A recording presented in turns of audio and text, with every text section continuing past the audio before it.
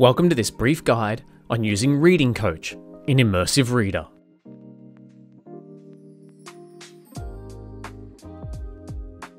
Reading Coach is a free tool that has been available in the education space for some time now, but is now being rolled into the Immersive Reader functionality for all users of Microsoft 365. Today I'm going to show you how to utilize that. Here you can see that I'm currently inside Word on the web, but this will be available wherever you find Immersive Reader, whether that be OneNote on the web, OneNote desktop, or other platforms in the future. And here is a piece of text that I've had typed up. For those who have seen my other videos, it's also written by ChatGPT. I want to practice reading this and I'm going to use Immersive Reader to help make that easier.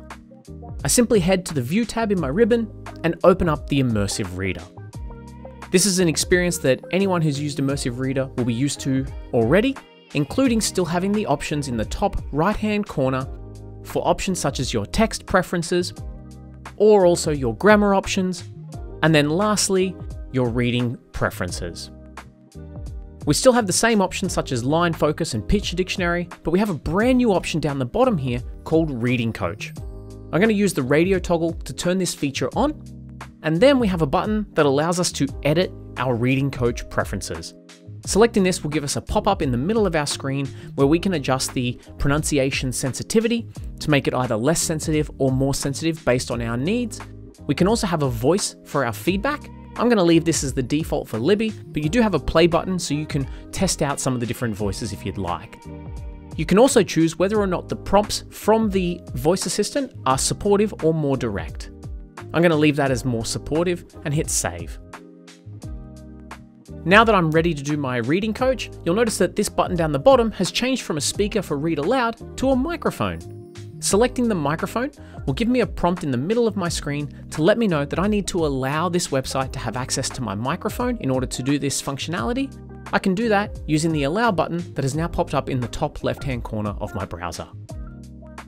Now that I've allowed the reading coach to have access to my microphone, I can speak for up to 10 minutes by hitting the start reading button. I get a quick countdown, and then I can start reading.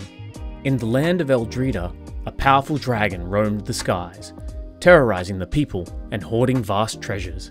The dragon, known as Dragoon, was said to possess a magical gemstone in its forehead that could grant immense power to whoever possessed it. And once I'm done reading, I simply hit the stop button and my reading report will appear automatically. This will include key information such as my overall accuracy, the total amount of time I spent reading, the number of correct words I spoke per minute, and a handful of words that the reading coach thinks that I should do a bit of practice on. In order to practice those words, I can simply use the green practice words button in the bottom corner here, and the reading coach will let me know that these were the words that they found to be the most challenging for me, and I can select any of them using the buttons available to be able to practice them again. I can utilize the microphone button to hear what that word will sound like according to the reader. Eldreda. I can also use the secondary button to break the word up into its syllables, and then I have a picture dictionary, and then the microphone button allows me to practice the word Eldreda. You're making your brain stronger. Nice work. And I can use the buttons in the lower right hand corner to move on to the next word when I'm ready. And as you can see, I'm currently going through the rest of the words and I'm getting them right. And the feedback that I am getting is positive from the reading coach. However, if I get a word that's not 100% correct, I will get some encouragement from the reading coach as shown here. Keep trying, you're almost there. I can then choose to retry that word until I get it right, or I can move on to the next word if I would prefer. Now, if I get all of the words 100% correct, I'll automatically go back to the reading coach options, but I can also use the home button in the top left hand corner to head back to my reading coach and let it know that I'm done and select the I'm done button. I can then close down my reading report and I can head back to my document and continue reading or making any changes to the document if I need to. And that is how you use the reading coach in Immersive Reader. I hope you found this tip extremely useful and it makes reading in the future just that little bit more enjoyable and I'll catch you in my next video. Thanks for watching.